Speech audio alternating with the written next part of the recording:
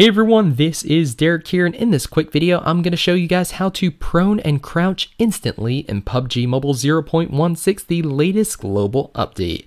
That update introduced a ton of new features, one of those being the first person perspective switching button. This is only available if you're playing a third person perspective game and it allows you to switch freely between first person and third person perspective.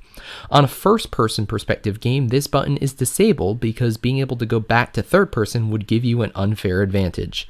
To enable the button if it's currently disabled, all you have to do is go into basic settings, scroll down a little bit, and you'll find FPP swap.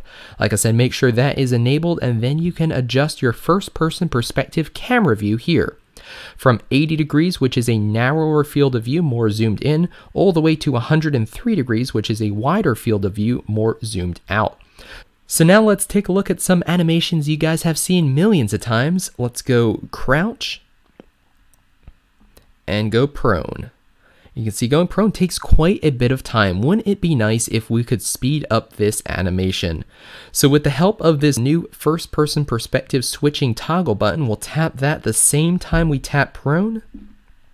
And you can see it is near instant we are now instantly prone and in first person perspective.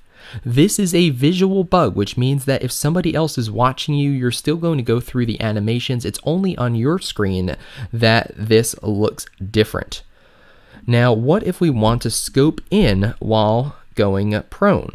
So let's first scope in and then go prone, you can see that we lose the sight picture for a second while that animation occurs.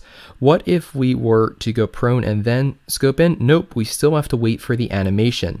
So now let's tap first person perspective the same time we tap prone and then we'll tap the sight.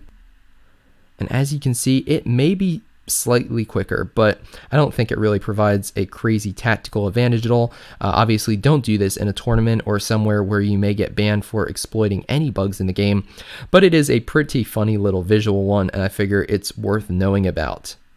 You can see that time it didn't work. Let's try it one more time. So we'll go prone, scope in. You can see quite possibly very, very slightly faster, but no major difference.